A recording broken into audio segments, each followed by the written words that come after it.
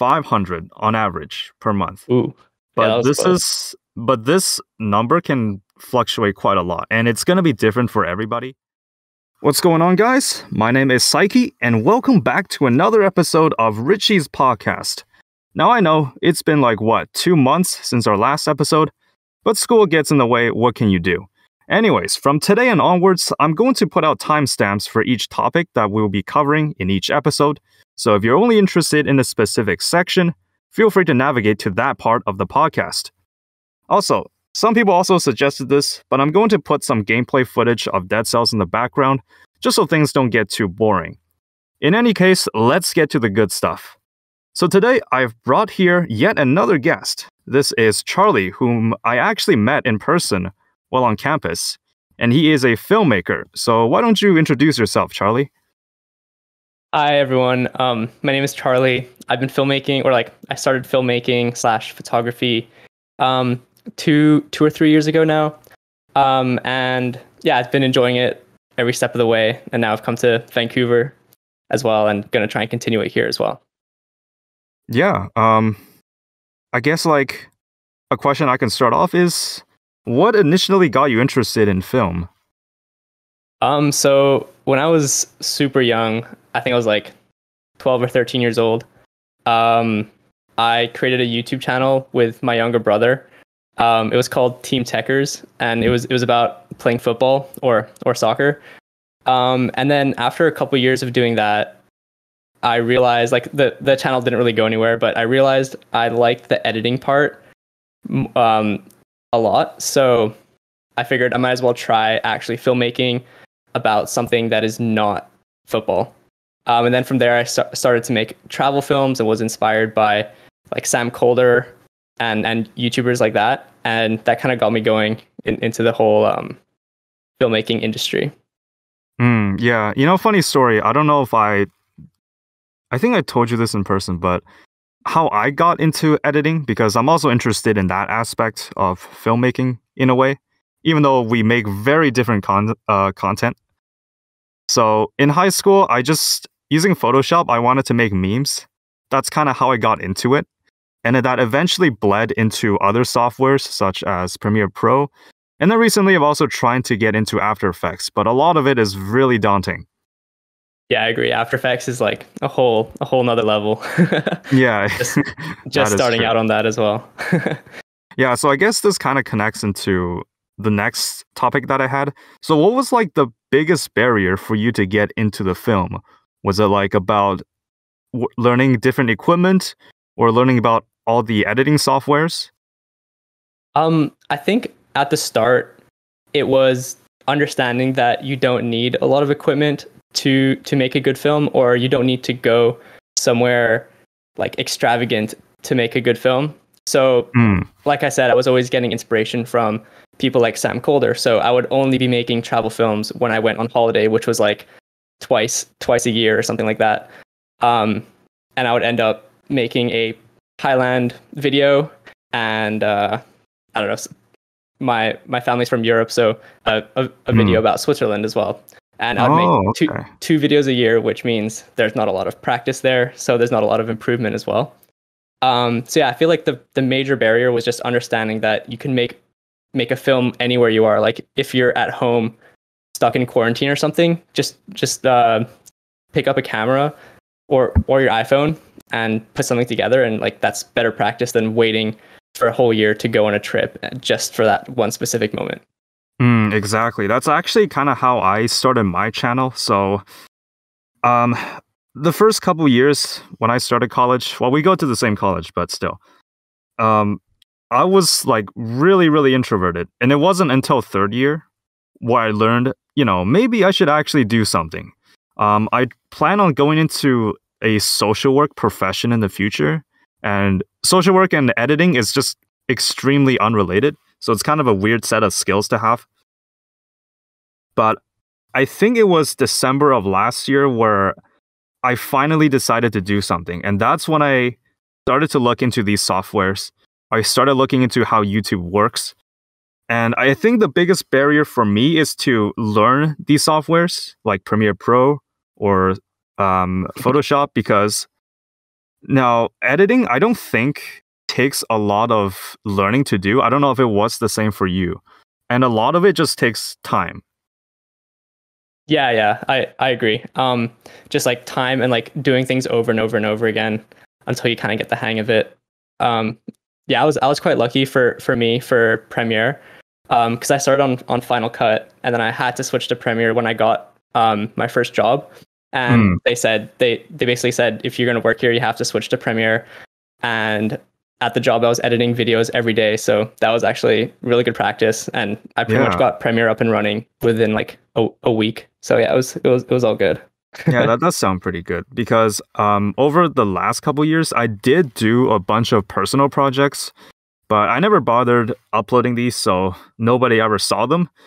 Um, it was really until I created my channel when I started to experiment, like different types of content, different types of thumbnails.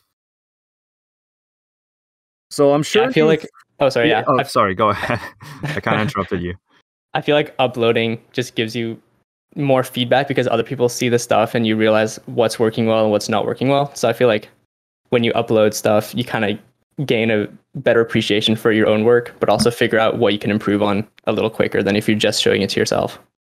Yeah, exactly. And the thing about uploading stuff onto the internet is that um, people on there aren't going to sugarcoat anything. If they think something that you did was bad, then they'll just say that it's bad. It's not like friends where they would try to encourage you. Um, they would try to say nice things. But I think a part of what makes uploading on YouTube nice is having that unfiltered feedback. I don't know if you've seen that kind of thing. Yeah, I mean, most of the comments I've gotten have been have been positive comments. Um, mm. but there, there is that occasional time when when someone says something that is is I guess negative or or constructive, and you look at it and you're like, ah, yeah, I, I see where you're coming from, and um, I'll improve that for the next time around. So that's yeah. I, it also helps because a lot of the times there's no face to the picture or no no no face to the name, so people feel like they're able to say whatever comes to their mind because there's less repercussions that way. And I guess that can be good and bad, but in in the sense of getting feedback, um, I think that's definitely a good thing. Yes, exactly, and you know, the, once your channel gets big enough, um, I heard this from a lot of sources, but you are going to get some people that are just very obnoxious. And part of growing as a creator is to learn how to deal with it. Yeah, definitely. I've, I've seen a lot of screenshots and like, I mean, just comment sections where bigger YouTubers that that, that I watch just get like completely roasted in the comments, and I kind of feel bad for them. yeah. But I mean, I guess it comes with the comes with the job. oh yeah. So I've actually seen a couple of your films and they're really high quality. Um I believe I've said you. this before, but honestly, if I didn't see like your view count, I would have believed that your content came from like a million subscriber content uh channel. Thank you so much. Like it's very impressive. Thank so, you. And something I was wondering is so you've made short films, you made some tutorials.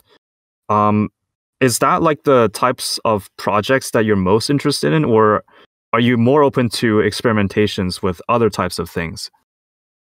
I definitely want to stay within the realm of filmmaking or photography. Um, occasionally, I would be very happy to do a vlog and make some sort of travel video, which is going back to why I actually started filmmaking um, in the first place. So yeah, I would I'd be very happy to do that just because it's always like when when you look at other um, bigger YouTubers in the same genre, um, mm-hmm. they end up also making travel videos as well. Um, and with with those kind of videos, you can also incorporate photography and videography as- aspects in there as well. Um, so yeah, I'd be open to experimenting with with uh, new types of films but I would always try to draw it back to the genre of film and photography. Mm. And I think it's a really good interest to have, especially how um, in the future, I'm assuming there's going to be a lot of gigs that are available for these types of things because film advertisement um, or just filmmaking in general is going to be in high demand. Yeah, definitely. I was, I mean, in in um, just just thinking about last year, I took a gap year off of college and decided to spend a couple months trying out just being full time uh, a full time freelancer. Um, and I partnered up with a friend back home in Hong Kong, and we actually ended Mm. up getting uh, way way more gigs than we thought we would just by word of mouth promotion and based off other projects that we've created. So like pe- people in the community talk, and then they reach out to you. So yeah, just having that as an option in the future is definitely super exciting for me. Yeah, I've definitely actually wanted to try that. It's just that I kind of started my channel in a bad time since um I believe last year in December I was still in third year. I I didn't take a gap year unlike you. Um I kind of just started because everything was still in um online, so we just had online classes. So that kind of gave me a lot more time to work with. But now starting in this uh September, since we have to go back to campus, it's gone a lot more busy. Yeah, did did you find it a lot easier to to keep up with the schedule while you were doing online classes and staying home rather than co- commuting to campus and stuff? Oh yeah, definitely. So now um I try to get out a video every single week, but even then that is extremely uh, tiring because I still have to record the footage and if it's like a special type of video like a tutorial or like a rant, I have to do a script and then that's not really including recording the commentary, making the thumbnail, and then thinking about how to market the video. Yeah, definitely. There's a lot of steps that go into every video, and after a while, I don't, I, don't know how it is for you, but it does get a little repetitive at times, almost Mhm. tedious. Like the process of setting everything up, like recording the audios and then editing the video. It's it gets a little tedious sometimes. Um, but yeah, I don't know how that is for you. Do do you find that as well? Uh yeah, so I actually find myself wanting to do a lot more types of experiment uh experimentational um or just yeah, just experimental videos. But the thing is since because of time constraints, I find that it's really hard to do that. So was there ever like a time when you were just absolutely stuck and you didn't know how to proceed with a certain project? Like setting up a shot or you don't know how to edit an effect, that type of thing? Um, yeah. So at the start of this year, I tried to, well, like I, I said, I would try to put out one video every week and I actually managed Mhm. it for about five or six months. But on the third, no, on, on the second week, so the second video that I was doing, um, I filmed everything. It was, it was a tutorial on, or it was supposed to be a tutorial on how to take drink, drink photography. And I was like, uh, Mm. the, the, the video is going to be called five ways to take a photo of a certain drink. I think it was I think it was like a gin and tonic or something. Um, Hmm. and at the end of it, after I'd taken all these five photos, I was looking through it and it was it was about like 2 days before I had to upload or before I said I would upload. Um, and the photos just looked completely terrible. Um, Oh. so I was like, all right, we're gonna we're gonna restart. We're gonna change the entire video concept to taking one photo instead of five, and I can focus on making the one photo look look good as opposed to having five terrible looking photos. Um, so basically, uh, yeah, I just I think I had the weekend. So the the two days left were were luckily the weekend. So I pretty much spent Saturday and Sunday planning the video, buying the stuff that I needed for it, and then filming it and editing it. Um, and yeah, I guess it was just like staying up a little later and waking up a little earlier to get everything finished. How, Ah, how about you? Have you ever have you ever been stuck with a video or, or anything like that? Uh, there are a lot of things I want to try out. Um, especially with After Effects. There's like motion tracking. There's like Mhm. 3D effects I want to try. But the thing is, though, a lot of it just takes time, and like so many people outside. Well, I guess so many people that don't really know editing, they kind of underestimate just how much time it takes to do these edits.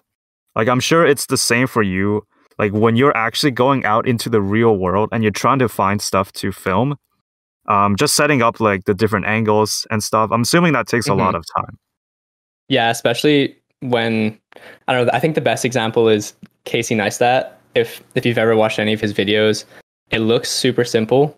Um, but he would have like a lot of his shots are of of him when the camera's on a tripod. So if you think about how he comes up with that shot, he would have to place the tripod down and then walk back to, to what he was doing, walk past the camera, and then go back and pick up the camera. Um, so I mean, one I don't know three second shot would probably take him about five minutes to record, and that just Mhm. adds up when you have like 10, 15, 20 shots. Um, but another thing about the editing that takes uh, what you said about the editing taking a lot of time, but a lot of people not really knowing that. Um, my like, I hate I hate it when um, if if you're working with clients or something, you finish off your video, and then they're, and then they're like, oh, do you mind just slapping on some subtitles over top of this? Oh, And I'm like, sure, but this is gonna take a lot. like, it's gonna take longer than you think. I don't know. I, I I find subtitles to be very tedious and annoying to put on. I don't know about oh you. yeah, they are. Um, I never Yeah. worked with clients before, so I don't know what it's like. But I've seen a couple of tutorials on uh, subtitles, and it's not hard to do. It just it takes a long time. Yeah, exactly. And I feel like it should be something that could be automated, especially if it's just like English word, like English subtitles underneath an English speaking video. I don't know. I Mm, feel like yeah. Premiere could have like an auto system to do that, maybe in the Eh. future, but we'll see. Yeah, maybe in the future. so Yeah. yeah, I've actually had a lot of um these really crazy edited videos, and by the time you're done, you're really proud of it. Um, so I guess what's like the one project that you were the most proud of ever since you started filmmaking? Um, in terms of coming up with a crazy edit, I would say, um, probably the Dalgona coffee video, um, on my on my YouTube channel. Um, I Hmm. tried to do an effect where the instant coffee would be spinning around in the air, and it came off Oh, pretty pretty well. So I was I was super happy about how that turned out. And and since that was the first shot of the video of a I don't know 15 second video, um, it just yeah it just attracted a lot of people because like you have this floating coffee thing and you're like oh how do you do that? Um, yeah, I was yeah that was probably the, the one that I was most proud of in terms of trying something quite ambitious and and managing to pull it off. yeah, that does sound pretty impressive. How about you? Do you have any um do you have a favorite video? Oh, favorite video? Um, I did this one tutorial on Dead Cells. Uh, I don't know if you'll understand anything that I'll say, but um, basically there are these different levels that you can go to called biomes, and a run kind of it's dictated by which which biomes you go to, and that kind of affects how your run ends up. So I did a tutorial on how to do that, and it's on my channel. Um, that was from a time when I wasn't too comfortable speaking just yet. So I kind of, there was a lot of repetition of what I said. But in the end, that video was about 30 minutes. And I would say um, everything took around a week to do. And this includes like planning, um, scripts, video recording, getting all that footage organized. So I, I was really proud of that because on YouTube at the time, there was no guide on biomes for Dead Cells. So that was kind of my take on it, and I was really glad how it how it um, turned out. Yeah definitely finding something that's not on youtube yet and making a quality video about that is is a great idea because then people are gonna find value in, in what you're putting out Yeah, so this kind of goes into our next topic, which is going to be primarily about my channel. Um, I think if you were to start a uh, a channel today, I would say you would have to niche down on a specific topic until you can't niche down anymore because it's so important to create content that you know people are looking for but does not exist yet. yeah that makes sense and i think that's sort of a problem i'm running into because i'm not that niche like there's a lot of other people doing exactly what i'm doing um, but i also feel like i can't niche down any further or i don't want to just because i feel like it will not have as big of an audience but i could i could be wrong in that in that as well Mm, well, I think. Well, I don't know what it's like running like a film channel. Maybe it's different. Um. Yeah, it. I definitely think it's a little bit more difficult to do that, but I don't know. um. So. Yeah, the topic for this podcast, for this episode, is going to be how much money does a 14K subscriber channel make in a month? So, do you want to take a guess, Charlie? Just like a Um, rough estimate. Okay, I'm, I'm I'm gonna I'm gonna guess around six hundred Canadian dollars. You are pretty close. Um, so I make 500 on average per month. Ooh, but was this close. is but this number can fluctuate quite a lot and it's going to be different for everybody um so how monetization works on youtube is that your profit is based on this system called cpm which stands for cost per mil mil meaning thousand in french. I don't know why it's like that. It basically calculates on average how much money you make per 1000 views. Um, so for me, it's slightly above average. Um, I know some people make as little as like 50 cents per 1,000 views, but some people can make like up to $10, which is really, really big. Like on average, it's around $4. So that's kind of Do you know where why there's do you know why there's such a big fluctuation between that? Uh, well, a- it depends on a lot of factors. Um, is your type of content in demand? What is your audience like? Um, what kind of content are you creating? Because if you make like a different type of videos, then obviously it's going to be a little bit different. Oh right, yeah, that makes sense. So what you said yours is around like four dollars, right? Uh, Uh, yeah. per yeah. So is is that because the the gaming sector is around that? Um, like most most other gaming channels will have a similar um similar amount to you as well. Um, I'm not too sure about that actually. I just know that the the measure is more on average. So on average on YouTube, the CPM is four dollars. Um, I don't know how it is in gaming because I know gaming can be extremely saturated. There's just so much content on it for YouTube that it's really hard for you to stand out. Mm, right. Yeah. So wait, how how do you stand out then? Oh, okay. This is kind of a long story, but for me, when I started my channel, um, the reason for me starting it is because I wanted to see a specific type of content, and this is for Dead Cells, the game that I play. I wondered why there wasn't like a tier list for weapons on the current version of the game. Back then, it was 2.1. Nobody on YouTube made a video about it, so I was just there like, wouldn't it be really cool if I made this specific content since you know I'm the one that wants to see it so maybe other people will want to see it too so that's kind of how I got to the place that I am today. But if I'm going to be honest I never actually intended for my channel to reach the point of where it is today. I thought I was just going to get like a couple hundred views per video and that was it. Yeah, I guess when you make great content, you're gonna you're gonna get a huge audience, like like what you have right now. Yeah, and I definitely think the first 1000 subscribers is the hardest process of every single channel. Because the thing is, um, when you get big enough, YouTube will kind of put you in a group, put you in like a specific category. They will say, like, oh, so Charlie makes this type of content. So we're going to market, we're going to recommend his videos to this type of people. So that's kind of how it um, YouTube helps you out. But at the same time, though, YouTube is under no obligations to uh, recommend your content. So it's kind of like a win win situation for creators and YouTube.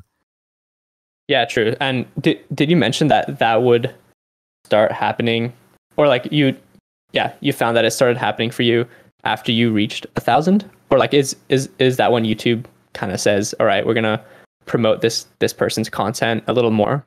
Is is when they reach a thousand? I am not sure. Um, so the point where I saw my channel started to pick up was after I uploaded my tier list, because for some reason people really like tier lists. So that was when the part where I looked on my analytics and then YouTube started to put out impressions. That's basically recommendations. So back then, um, I was gaining like a steady amount, and then I was like, okay, so this is my chance. This is my chance to actually make it. So I started to pump out videos really fast. And that's kind of how well, I don't know if this was the cause of it, but I would like to believe that is how I actually managed to reach around 1,000 subscribers. Yeah, I think it sounds like it probably is because I heard um, YouTube will also recommend your videos the more the more frequently you upload. So I guess if you picked it up, that's probably a big factor in in in your growth as well. Probably yes. Uh, but you know, it's the YouTube algorithm.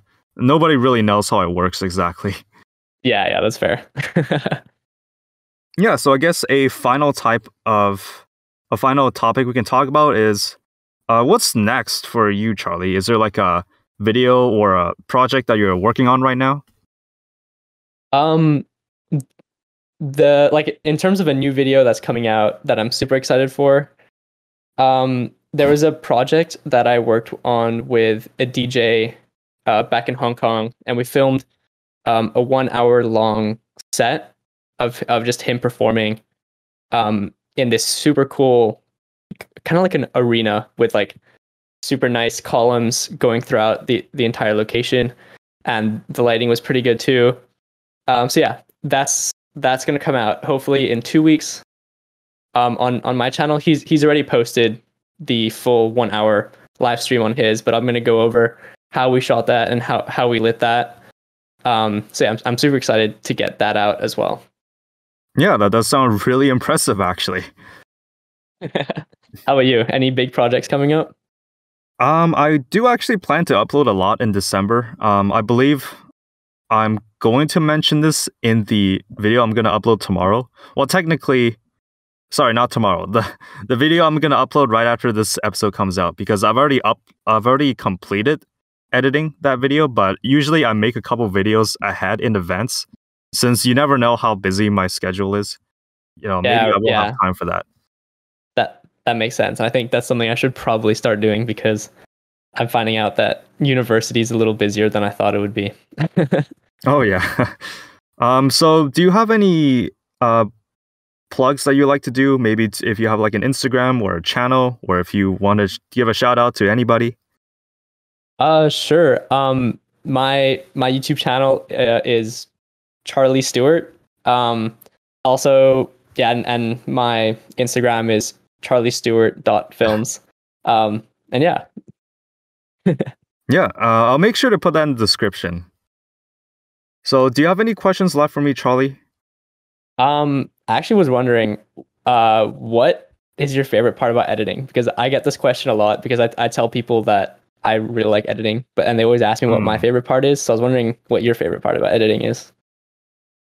My favorite part is definitely finding a way to differentiate every video that I make because I think some people do this on YouTube, but when it comes to like gaming, they just kind of create the same formula, the same kind of um, structure, and they just upload that daily. But for me, when I'm showcasing like an item in the game, I like to find some unique way to present it. So maybe it's like a really flashy intro. Maybe it's like um maybe it's just me taking really strategic plays during the run. So that's kind of how I incorporate creativity into my edits. And that's definitely the funnest part about making each video. Is is like how you can make it different and like be creative with it. Yeah, exactly. Because I yeah, think yeah. ultimately editing it's like a way of it's like a form of artistic expression. At least that's how i see it. Yeah i can completely agree. Yeah. So did you have any other questions? Um i mean i have i have a bunch of questions to ask you if, if you've got the time.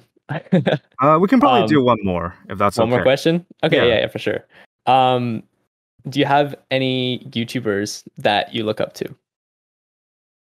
uh yes, actually. Um so one of the main motivations for me to create a channel was this one other Dead Cells creator. So his name is Azumaro Fairy. Um he made content on Dead Cells over the course of 2020. This is when we were in quarantine. So back then, when he started out with nothing, he essentially knew nothing about editing, how to make content for YouTube. And then over the course of the year, because we were both interested in this game that we both played, I was able to see his growth just from like nothing to a couple of thousand subscribers, which was huge. He still makes content for it even now. And a big part of inspiring people is to see this progress, is to see someone um, become better. And I think that is what pushed me to create my channel because I ultimately believe that I can become better. I try to like improve every single video. Maybe it's the way I commentate, maybe it's how I edit things. So that's kind of the experience for me. Yeah, I think that's definitely the best way to go about go about creating and just like trying to constantly improve. Definitely super inspiring for everyone watching. Oh yeah, and for YouTube, you know, it's free, so you literally have nothing to lose. Yeah, When exactly. You're starting out from zero, you have nothing to lose and everything to gain. Yeah, definitely a great way to think about it. Okay, so I guess we can wrap it up for today. We've been going on for around 30 minutes now. All right, Yeah, thanks, so thanks for having me. yeah, no problem. You've been a really, really good guest. Thank you. So this definitely has enjoyed been... that podcast. oh yeah, me too. So yeah, this has been Richy's podcast, episode five. Thank you all for tuning in, and we'll see you all next time.